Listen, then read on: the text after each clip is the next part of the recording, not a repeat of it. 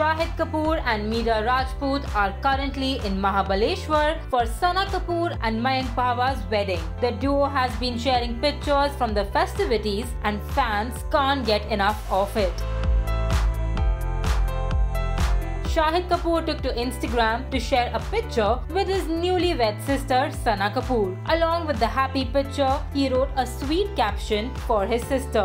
It read as, How time flies and little Bitto is now a bride. All grown up, all too soon, my baby sister. An emotional beginning to a wonderful new chapter. Dearest Sanah, wishing you and Mayank sunshine and good vibes always.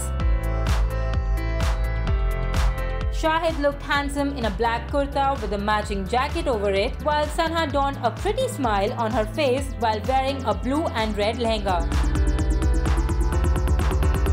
Recently, Shahid's wife Mira also posted a series of pictures from the wedding venue. She offered us a glimpse of the elegant decor, her beautiful sari, Shahid's outfit for the wedding day, desserts, mehendi, and more. The Kabir Singh actor wore a smart black outfit for his sister's big day. On the other hand, Mira opted for a white sari with statement earrings. The star wife was also photobombed by her little munchkin.